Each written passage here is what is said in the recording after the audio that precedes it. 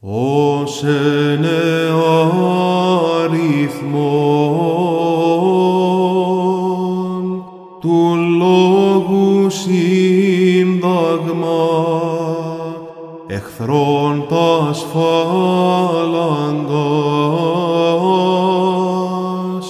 κατετροπός αντών. Εις αύρος φίληξιν αυτής ερμίας και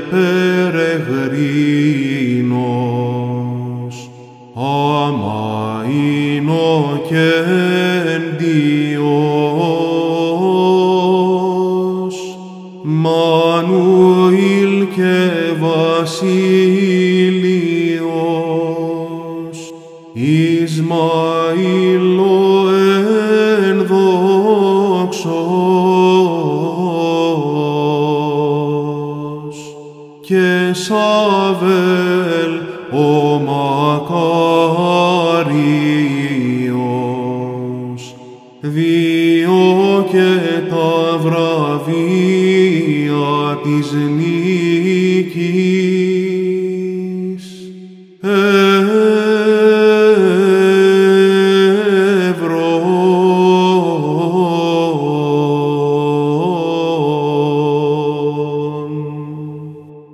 ως μάρτυρες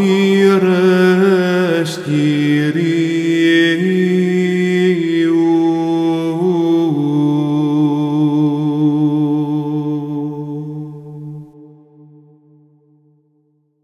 Τη δεκάτη εβδόμη του μηνός Ιουνίου, Ισάβρου, Βασιλείου, Ινοκεντίου, Φίλικος, Ερμίου, Περεγρίνου, Μανουήλ, Σαβέλ και Ισμαήλ των μαρτύρων, Υπατίου Οσίου εν Ρουφιανές, Βάρα Οσίου του συνασκητού του Οσίου Παταπίου, Φιλονίδους Ιερομάρτυρος Επισκόπου Κουρίου του εν Κύπρο, Παρθενίου Ιερομάρτυρος, Παγκώστα του Πατμίου, Πίορ Οσίου και Ιωσήφ Οσίου του Αναχωρητού.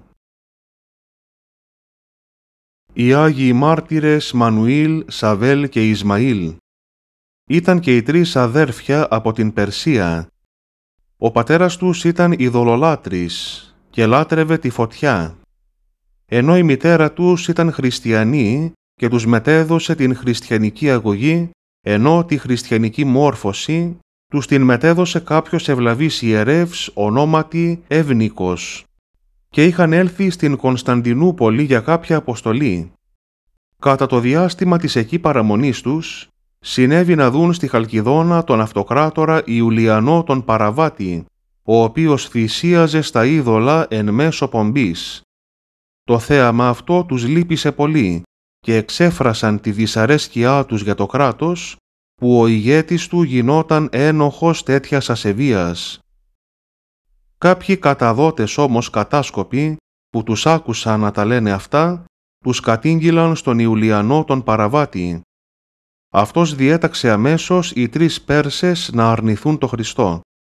Αλλά και αυτοί με τη σειρά τους αποκρίθηκαν ότι τους εαυτούς τους προπολού είχαν αρνηθεί και στον Ιησού που είχαν παραδομένη την ψυχή τους, είναι έτοιμοι να χύσουν και γι' αυτόν το αίμα τους. Τότε άρχισε ο βασανισμός τους. Διεπέρασαν τους αστραγάλους τους με μητερό αντικείμενο, κατόπιν τους απεκεφάλισαν. Αλλά η Θεία Δίκη δεν άργησε να έλθει.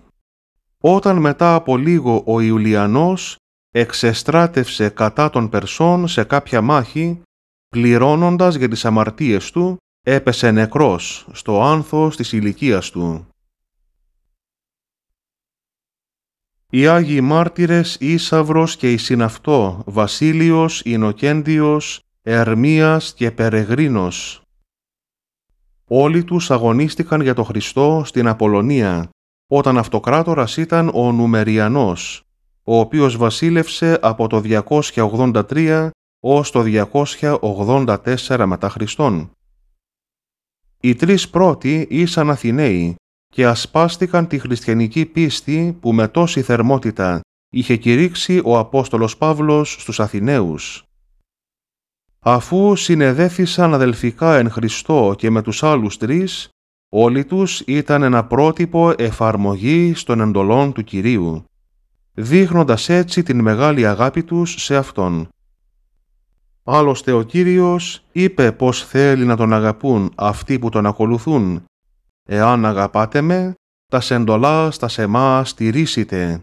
Δηλαδή, αν με αγαπάτε, τηρήστε τις εντολές μου και δείξτε έτσι ότι η αγάπη σας για μένα είναι αληθινή και ειλικρινής. Έτσι λοιπόν, η ζωή των έξι αδελφικών φίλων καταγγέλθηκε στον έπαρχο Τρυπόντιο. Αυτός με κάθε τρόπο προσπάθησε να τους κάνει να θυσιάσουν στα είδωλα. Μάταια όμως, αυτοί ομολογούσαν Χριστόν εσταυρωμένων τότε τους υπέβαλε σε μία σειρά από φρικτά βασανιστήρια. Αλλά με θαυμαστό τρόπο έμειναν αυλαβείς από αυτά και κατόρθωσαν να φέρουν πολλούς στην χριστιανική πίστη και τελικά τους αποκεφάλισαν. Ο Όσιος και Θεοφόρος πατήρ ημών Πίορ. Η βιογραφία του Οσίου Πίορος βρίσκεται στο βιβλίο που ονομάζεται Λαυσαϊκό. Ήταν ασκητής Αιγύπτιος, ο οποίος ανεχώρησε από το σπίτι του στην έρημο και πήρε την απόφαση να μην δει ποτέ τους γονείς του και τους συγγενείς του.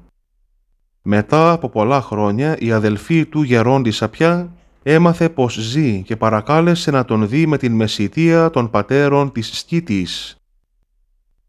Τότε ο Αβάς Πίορ πήγε στο σπίτι της, στάθηκε στην πόρτα χωρίς να μπει μέσα στο σπίτι και με κλειστά τα μάτια του συνομίλησαν με την αδελφή του. Και χωρίς να την δει καθόλου έφυγε πάλι για την έρημο όπου και εκοιμήθη ειρηνικά. Ο Άγιος Φιλονίδης ο Ιερομάρτης. Επί Διοκλητιανού το 300 μετά Χριστόν ήταν επίσκοπος Κουρίου, πόλη νότια της Κύπρου. Για τον αποστολικό του ζήλο συνελήφθη μαζί με τρεις άλλους χριστιανούς και ρίχτηκε στην φυλακή. Όταν οι τρεις συγκρατούμενοι του, Αριστοκλής, Δημητριανός και Αθανάσιος, τελειώθηκαν μαρτυρικά, διάταγμα του βασιλέως προέτρεπε τους ειδωλολάτρες να ατιμάζουν τα σώματα των χριστιανών. Τότε ο Φιλονίδης, για να αποφύγει την βέβαιη ατίμωση, έδεσε το κεφάλι του κάλυψε το πρόσωπό του με το ρούχο του και έπεσε προς τα κάτω από μέρος υψηλό. Αλλά πριν ακόμη το σώμα του φτάσει κάτω στη γη, είχε ήδη παραδώσει το πνεύμα του στο Χριστό.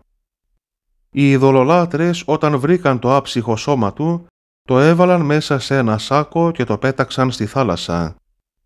Το βρήκαν στην παραλία οι πιστοί, το παρέλαβαν και το έθαψαν με τιμές.